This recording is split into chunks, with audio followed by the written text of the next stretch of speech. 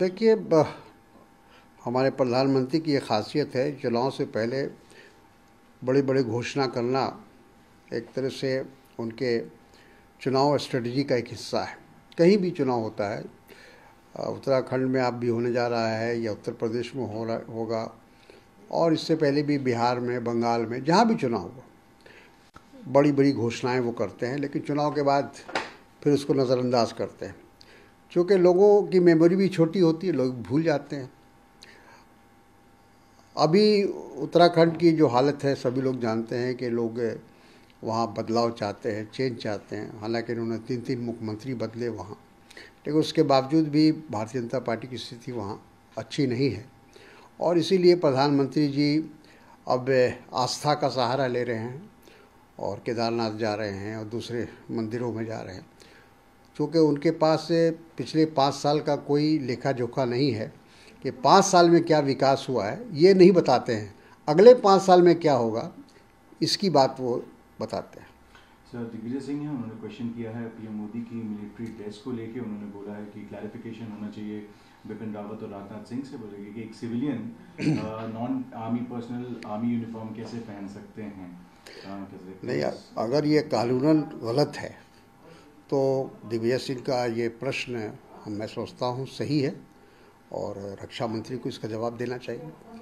Sir पूर्व Pakistani minister उन्होंने FATF में ये दर्शाया है या एक इल्ज़ाम लगाया है कि भारत का रोल है पाकिस्तान को एफएटीएफ की ग्रे लिस्ट में रखने का और उसकी एफएटीएफ की इंटीग्रिटी पे भी सवाल निशान उठाया है सर। मेरा ख्याल है कि भारत पर कोई आरोप लगाने से पहले पाकिस्तान को खुद अपने गरेबा में झाँक कर देखना चाहिए कि आखिर ये स्थिति क्यों बनी हुई है और क्यों पाकिस्तान को उसमें रखा गया है।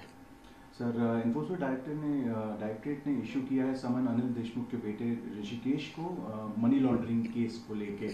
सर देखिए इस पर तो एनसीपी के राष्ट्रीय अध्यक्ष शरद पवार जी का भी बयान आ चुका है, और लोग का भी बयान आया है। और हकीकत ये है कि जिस तरह से अपने विरोधियों के खिलाफ जो सरकारी मिशनरी है, उसका इस्तेमाल भाजपा सरकार कर रही है, केंद्र सरकार कर रही है, ये तो बिल्कुल अब कहीं छिपा हुआ नहीं है। सब लोग इस बात को महसूस करने लगे हैं कि जितनी भी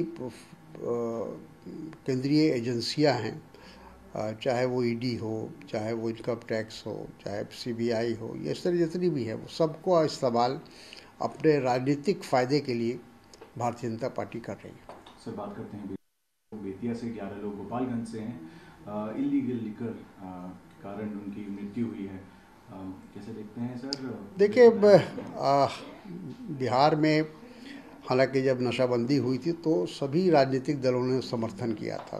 कांग्रेस पार्टी ने भी उसका समर्थन किया था। लेकिन आज बिहार में नशाबंदी नहीं है। आज वहाँ कई माफिया ये काम कर रहे हैं। और उसमें तमाम सरकारी मिश- मिशनरी से लेकर, सरकारी पदाधिकारियों से लेकर, पुलिस पदाधिकारियों से लेकर, और वो तमाम असामाजिक तत्वों का उसमें एक तरह से वो गठबंधन बन चुका है। और वो ये काम कर रहे हैं। ये जो जहरीली शराब मिली है, जिससे इतने लोगों की जाने गई हैं, उनका परिवार उजड़ गया है, बहुत ही दुखद है, अफसोस की बात है। लेकिन इसके लिए सीधे सीधे बिहार सरकार जिम्मेदार है। सर आखिरी प्रश्न, राकेश टिकैत ने बोला है कि अगर पाँच साल सरकार चल सकती है तो पाँच साल प्रोटेस्ट भी चल सकता है और किसान छोड़ के नहीं जाएगा। बिल्कुल, टिकैत जी का ये बयान बहुत ही कहा जाए कि हिम्मत वाला बयान है, साहस वाला बयान है कि पाँच साल तक भी अगर संघर्ष करना पड़ेगा, अपनी मांगों को लेकर किसान करेंगे। और सरकार को जब तक अपनी मांग मनवा नहीं लेंगे, तब तक वो चैन से नहीं बैठेंगे, इसके लिए उनको पाँच साल भी संघर्ष करना पड़ेगा तो करेंगे।